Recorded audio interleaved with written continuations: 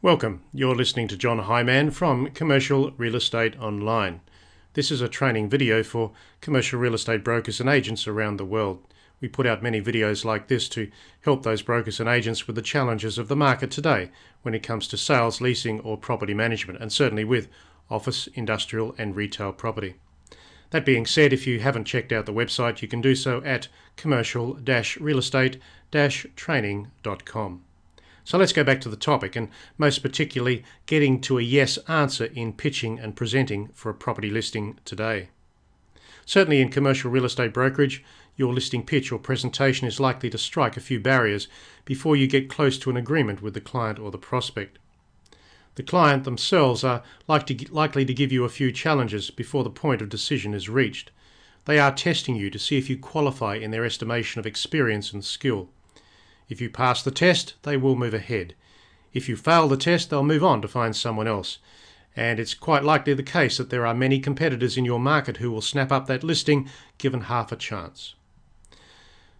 Number two, it really doesn't matter what your commission rate is or your marketing costs are for that property. The ultimate point of decision is driven from your relevance and your experience. The client doesn't want to be a marketing experiment. You need to qualify in every respect when it comes to being relevant and being experienced for that property challenge. Number three, the client or the prospect wants to see the things that will give them the confidence to use you as your brokerage in selling or leasing the property.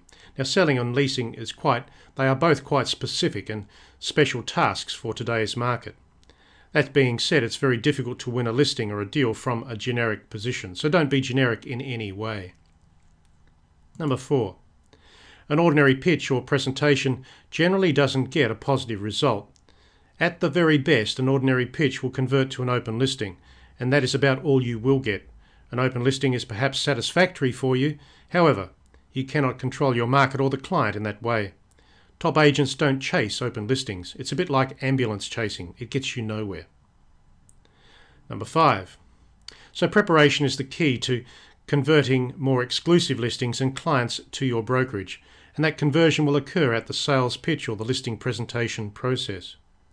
Treat every sale or leasing, listing opportunity with direct focus and investigation. Look into the key elements of the property and the client so that you come to the presentation with real and relevant ideas that will help facilitate property decisions, the decisions that need to be made to solve the challenge that the client has. I go back to the point that you cannot be generic in this approach. So, number six, what are some tips to take you forward here? Well, when you look at the six different tips, there are certain recommendations I'll make in each particular case. Number one, ask the client some deeper questions that relate to the key issues of the property. Choose your questions wisely as they will show your level of skill and experience for the local market today. Number two, use a checklist relative to the property type and your location as it will help your level of focus and conversation. Good questions can easily support your professionalism and make you stand out as a top agent, a better agent than your competitors. Number three, meet the client at the property so you can move through it with a questioning process. The inspection strategy can then be discussed as you move around the property with the client that will show the client that you really understand how to do the right things to attract the levels of inquiry and the negotiations that they need.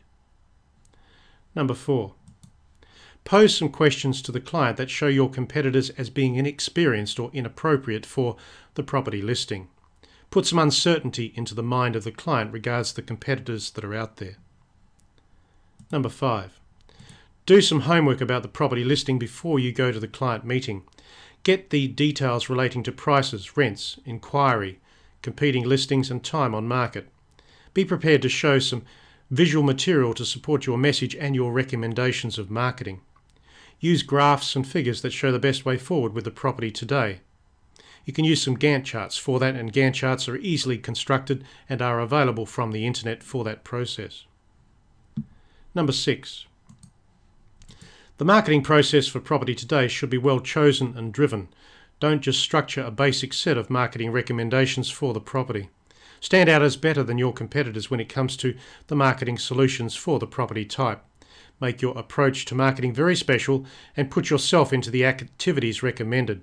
Let the client see how valuable you will be personally to spreading the message about the property and its availability to the tenants or the buyers that are out there. So let's go back to the beginning here. When you prepare for the listing meeting that you are to have with the client, and you do so at an advanced level, you are likely to convert far more listings on an exclusive basis. That should be your target. Top agents are not generic, they are very specific. They provide valuable and unique marketing solutions in commercial real estate marketing to the clients that they serve. So that's the end of this topic. As I said to you earlier, you can certainly get a lot more free tips and ideas at commercial-realestate-training.com. Thanks for listening to this video today. This is John Highman from Commercial Real Estate Online, and you can catch us at the website. Thanks for listening. We'll catch you next time.